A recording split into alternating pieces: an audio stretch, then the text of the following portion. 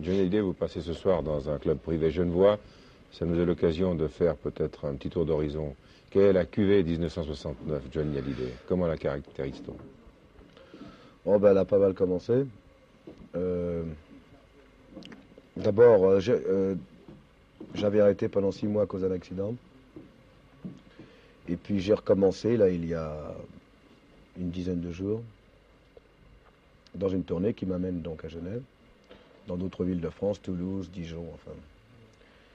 Et ensuite, euh, ensuite je vais. Une tournée qui se termine le 8, qui va m'amener à Rome ensuite, pour une télévision. Et puis pour, euh, pour euh, signer un contrat de film. Est-ce que le style de Hallyday a changé? Oui, un peu, oui, j'ai changé de, de formule un peu, j'ai changé aussi de musicien.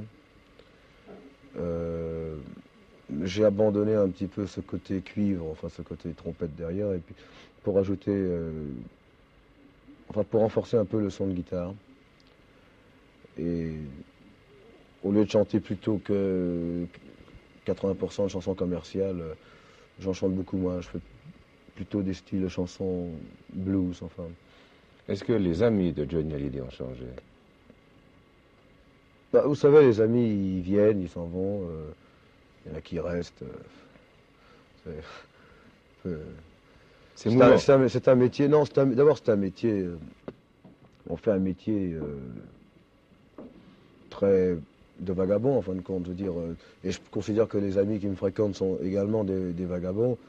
Ça fait qu'ils restent tant qu'ils ont rester. Quand ils en ont marre, ils s'en vont. euh, et puis, il y en a qui restent, il y en a qui s'en vont, ça change. ou ils reviennent plus tard. enfin. Si vous aviez un message ou une déclaration à faire à vos fans de Genève, qu'est-ce que vous leur diriez Bah, J'aimerais leur dire que je suis très heureux d'être à Genève, parce que ça fait longtemps que je ne suis pas passé à Genève. Ça fait bien 4 ans maintenant. Si ce soir on cassait des chaises, qu'est-ce que vous diriez Je serai le premier surpris, ça m'étonnerait qu'ici on casse des chaises.